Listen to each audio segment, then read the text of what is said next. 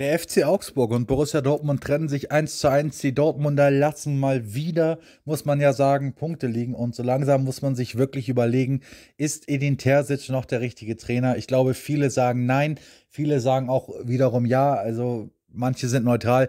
Ich muss ehrlich sagen, bei Dortmund, es ist ein komisches, äh, also es ist ein komisches, es ist eine komische Saison, muss man einfach so sagen. In der Champions League sind sie top und in der Bundesliga mal flop, mal gut.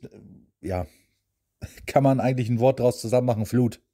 Aber naja, was soll's. Es war Demirovic, der in der 23. Minute das 1 zu 0 für die Augsburger erzielte, die heute auch kein schlechtes Spiel gemacht haben, aber insgesamt war Dortmund besser.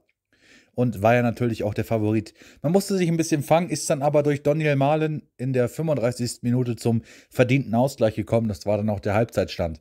In der zweiten Halbzeit gab es wirklich Chancen auf beiden Seiten. Also Dortmund natürlich mit einem großen Chancenplus, aber auch Augsburg hatte sehr gute Gelegenheiten, gerade gegen Ende durch Vargas etc. Also beide Mannschaften hätten durchaus den Siegtreffer noch machen können, aber Dortmund hätte es einfach mehr verdient gehabt, weil da wirklich ein Chancenbucher waren. Also so viele Chancen haben manche Vereine nicht mal in fünf Partien zusammen.